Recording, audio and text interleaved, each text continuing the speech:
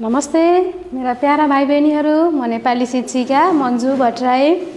विश्वज्योति माध्यमिक विद्यालय देवसुली पन्ध्र प्रगति नगरबाट। आज हामी कक्षा चारको पाठ दुई जङ्गल हाम्रो साथी कथा पढ्छौँ। यहाँभन्दा अगाडि चाहिँ हामीले पाठ एक नेपाल आमा कविता पढिसक्यौँ। यसलाई लय हालेर वाचन गऱ्यौँ। यसका भावहरू पनि हामीले बुझ्यौँ। बुझ्नुभएछ भन्ने आशा मैले गरेकी छु। र त्यसपछि हामीले नाम नामका प्रकार हो कि होइन हजुरहरूलाई याद छ नि? नामका कति प्रकार छन् रे? ल भन्नुहोस् त नामका कति प्रकार रे? पाँच प्रकार। हो कि होइन हजुरहरूलाई थाहा छ नि? व्यक्तिवाचक जातिवाचक समूहवाचक द्रव्यवाचक भाववाचक। गरेर नाम चाहिँ पाँच प्रकारका हुन्छन् भनेर हामीले पढिसक्यौँ। व्यक्तिवाचक भनेको के हो? जातिवाचक समूहवाचक अनि भाव द्रव्यवाचक। के के रहेछन् भन्ने कुरा हामीले बुझिसक्यौँ। हजुरहरूले पनि बुझ्नुभएको छ भन्ने मैले आशा गरेकी छु। त्यसपछि हामीले नेपाल आमा व्याकरण पछि चाहिँ आज हामीले पाठ दुई जङ्गल हाम्रो साथी। यो चाहिँ एउटा के हो भन्दा कथा। जङ्गल हाम्रो साथी कथा हो यो। यस कथा चाहिँ आज हामीले पढ्छौँ जङ्गल हाम्रो साथी। कसरी साथी हुन्छ? पहिला सुरु बुझ्नुहोस् त। साथी भनेको चाहिँ के होला? थाहा छ हजुरहरूलाई? साथी भनेको के हो? पक्कै पनि थाहा छ। कि होइन?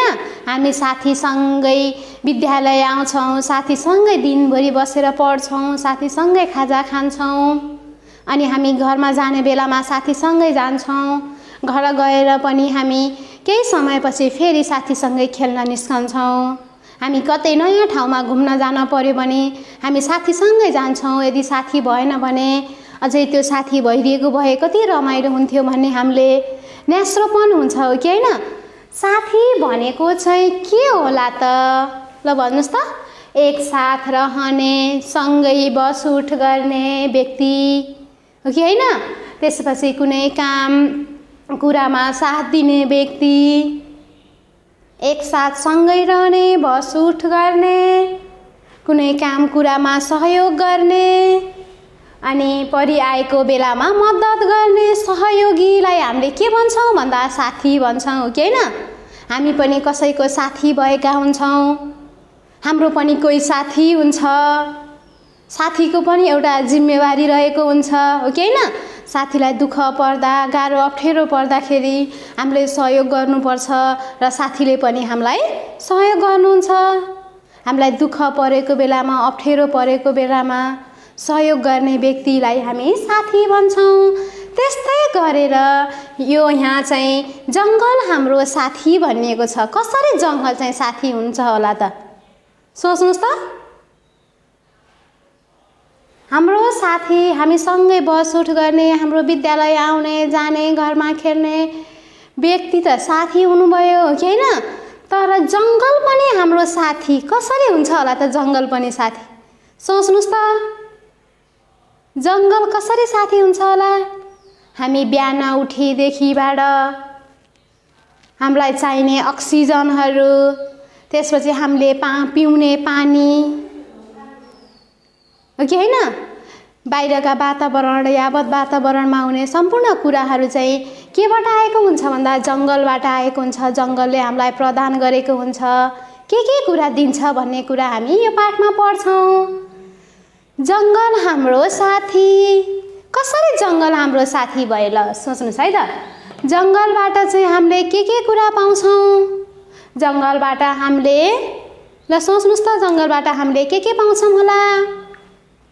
जङ्गलबाट हामीले बोट बिरुवाबाट हामीले आफ्नो घरमा भएको गाई बस्तुहरू पाल्न सकिन्छ कि होइन? गाई बस्तुहरू हामीले वन जङ्गलबाटका वन जङ्गलबाट आउने घाँसहरू बोट बिरुवा पातहरूबाट हामीले तिनीहरूलाई ल्याएर आफ्नो गाई बस्तुहरू पाल्न सक्छौँ। त्यस्तै गरेर हामीले खाना बनाउन सक्छौँ।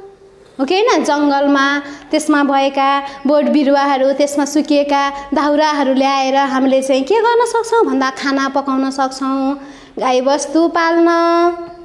हो कि होइन? जङ्गलबाट हामीले गाईबस्तु पाल्न सक्छौँ। त्यसपछि खाना बनाउन सक्छौँ। अनि त्यस्तै गरेर अर्को घर बनाउन सकिन्छ हो कि होइन? जङ्गलबाट हामीले गाईबस्तु पाल्न खाना बनाउन अनि त्यसपछि घर बनाउन हामीले सक्छौँ लगायत अरू कुराहरू पनि जङ्गलबाट हामीले पाउन सकिन्छ।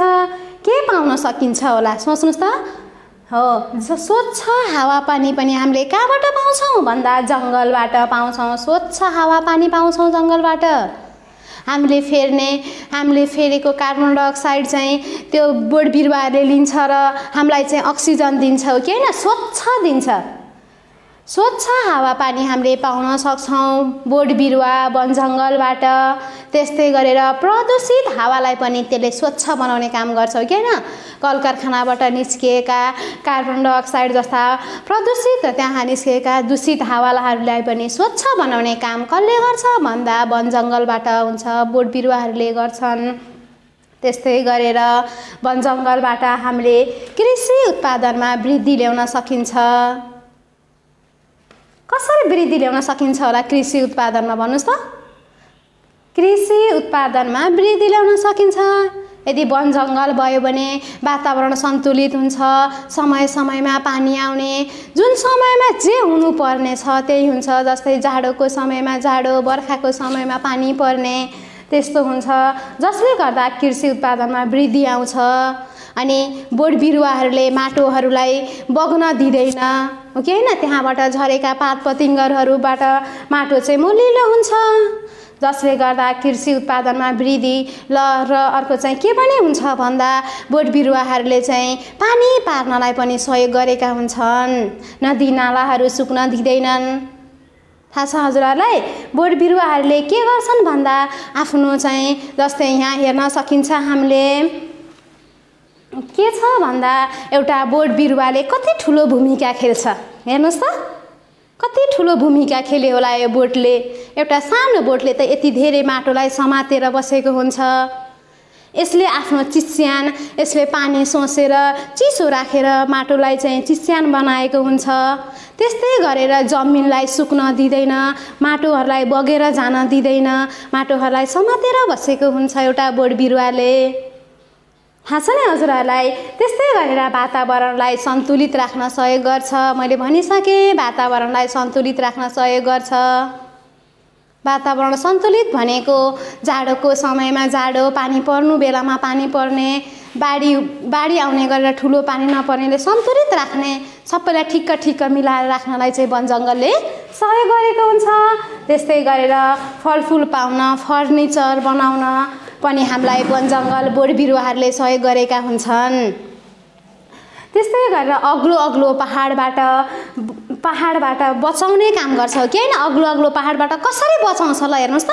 यसरी माटो समातेर बस्छ त्यसलाई बगेर जान दिँदैन। हाम्रा घर वरिपरि त ठुला ठुला पहाडहरू रहेका छन्। ती पहाडबाट चाहिँ हामीलाई बचाउने काम चाहिँ केले गरेको हुन्छ? भन्दा वन जङ्गलले गरेको हुन्छ स्वच्छ हावा पानी दिन्छ। अनि प्रदूषित हावालाई चाहिँ के गर्छ? भन्दा स्वच्छ बनाउने काम गर्छ कृषि उत्पादन वृद्धि गर्छ मैले भनिसकेँ। अग्लो अग्लो पहाडबाट बचाउने काम चाहिँ एउटा रुखले बोट बिरुवाहरूले गरेका हुन्छन्। त्यस्तै गरेर तातो हावा पानीलाई पानीलाई चाहिँ त्यसको छायाले चाहिँ के हुन्छ? भन्दा चिसो बनाउने काम गर्छ। थाहा छ नि तातो हावा पानीलाई चाहिँ यसबाट निस्केको यसको छायाले चाहिँ यसको ओजेलले चाहिँ चिसो बनाउने काम गर्छ। जसले गर्दा यहाँ बाँच्ने विविध प्राणीहरू चाहिँ आफ्नो जीवन निर्वाह गर्न सहजै गर्न सक्छन्। तातो हावा पानीलाई चिसो पार्ने काम चाहिँ यसले गरेको हुन्छ। बुझ्नुभयो नि हजुरहरूले? हामीले बोट बिरुवाबाट निकै नै धेरै फाइदा लिन सक्छौँ। मैले भनिसकेँ गाईबस्तु पाल्न सकिन्छ। त्यस्तै गरेर खाना बनाउन घर बनाउन अनि अरू चाहिँ स्वच्छ हावापानी पाउनका लागि पनि हामीले वन जङ्गलले हामीलाई सहयोग गरेको हुन्छ। बुझ्नुभयो नि हजुरहरूले? स्वच्छ हावापानी पाउनका लागि वन जङ्गलले सहयोग गरेको हुन्छ। कृषि उत्पादनमा वृद्धि ल्याउँछ। फलफुलहरू हामीले त्यही बोटबाट नै फलफुलहरू खान पाउँछौँ। अनि त्यसपछि फर्निचर त्यसको काठबाट हामीले फर्निचर बनाउन सकिन्छ। अनि त्यसको बोक्राहरूबाट हामीले औषधिहरू पनि प्रयोगमा ल्याउन सक्छौँ हो कि होइन? एउटा बोट बिरुवाले हामीलाई कति धेरै फाइदा दिन्छ? त्यसको पातले हामीले ओजेल छाया पाउँछौँ चिसो हुन्छ हामीलाई। अनि त्यस्तै गरेर त्यसको बोटबाट सुकिएका बोटहरूले चाहिँ हामीले खाना बनाउन सहयोग गर्छ त्यसले हामीलाई अक्सिजन दिन्छ। त्यस्तै गरेर हामीलाई औषधि बनाउनका लागि पनि बोट बिरुवाहरू नै आवश्यक परे परिरहेका हुन्छन्। त्यस्तै गरेर तातो हावापानीलाई त्यसले चाहिँ चिसो पार्ने काम गरेको हुन्छ।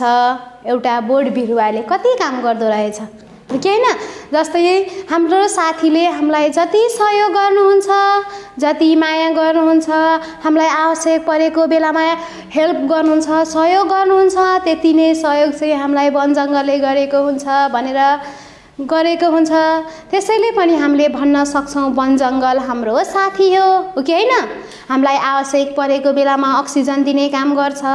हाम्रो प्यास र तिर्खा मेटाउनका लागि त्यसले चाहिँ पानीहरू पारी कसरी पानी पार्छ होला? भन्नुहोस् त। यसले चाहिँ पानीका मुहानहरू सुक्न दिँदैन। एउटा बोट बिरुवाले चाहिँ के हुन्छ? चिस्यानलाई चिस्यानलाई चाहिँ चिस्यान बनाइराखेको हुन्छ। पानी भनिन्छ एउटा बोटले चाहिँ बिस हजार बिस हजार लिटर पानी सोसेको हुन्छ र त्यसले हामीलाई आवश्यक परेको बेलामा त्यसले हामीलाई निरन्तर रूपमा त्यो पानीलाई सुक्न दिँदैन पानीका मुहानलाई सुक्न दिँदैन भनिन्छ।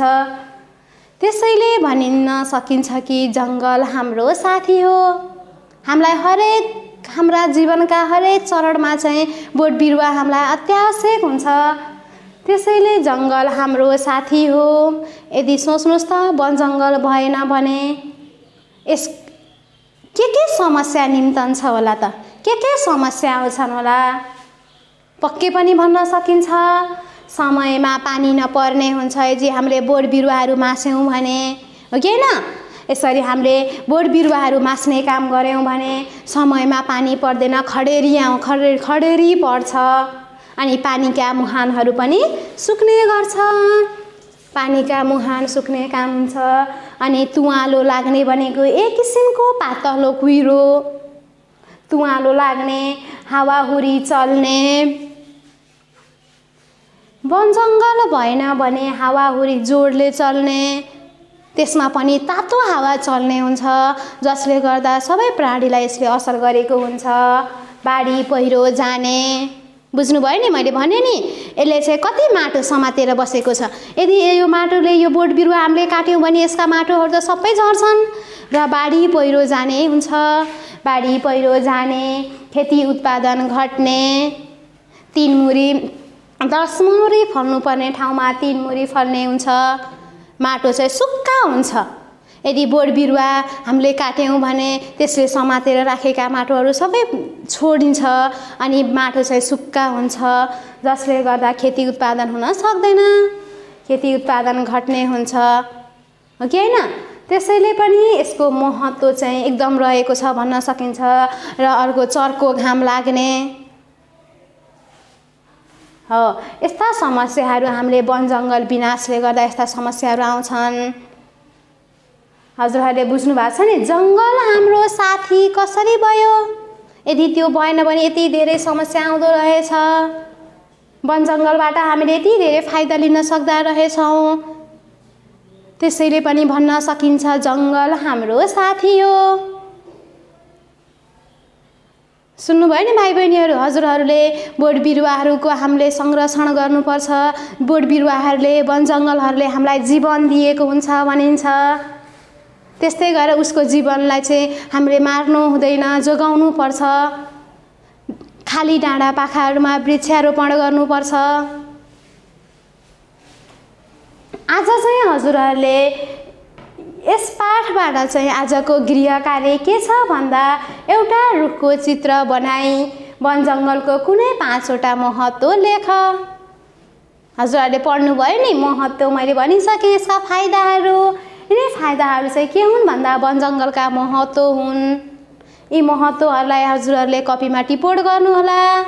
र आफ्नो फेसबुकमा चाहिँ आफ्नो ग्रुपमा गएर फेसबुकमा चाहिँ पोस्ट गर्नुहोला। मैले हजुरहरूको गृह कार्य हेर्नेछु। आशा छ मेरा प्यारा भाइ बहिनीहरू हजुरहरू घरमा बसेर पढ्नुभएको छ आफ्नो गृह कार्य नियमित गर्नुभएको छ। हजुरहरूले मैले भनिसकेँ वन जङ्गलको महत्त्व चाहिँ स्वच्छ हावापानी पाउन अनि त्यसपछि कृषि उत्पादनमा वृद्धि वातावरणलाई सन्तुलित राख्न। राख्नु फलफुल पाउन फर्निचर बनाउनु अग्लो अग्लो पाहाडबाट बचाउने काम गर्छ हामीलाई। तातो हावापानीले त्यसको छायाले तातो हावापानीको छायाले चाहिँ छायालाई चाहिँ चिसो पार्ने काम गरेको हुन्छ। त्यसरी यसको महत्त्व निकै ठुलो रहेको छ भनेर हामीले लेख्न सक्छौँ। मेरा प्यारा बहिनी भाइ बहिनीहरू अहिलेलाई यति नै। हस्त धन्यवाद। घरमै बस्नुहोस् सुरक्षित रहनुहोस्।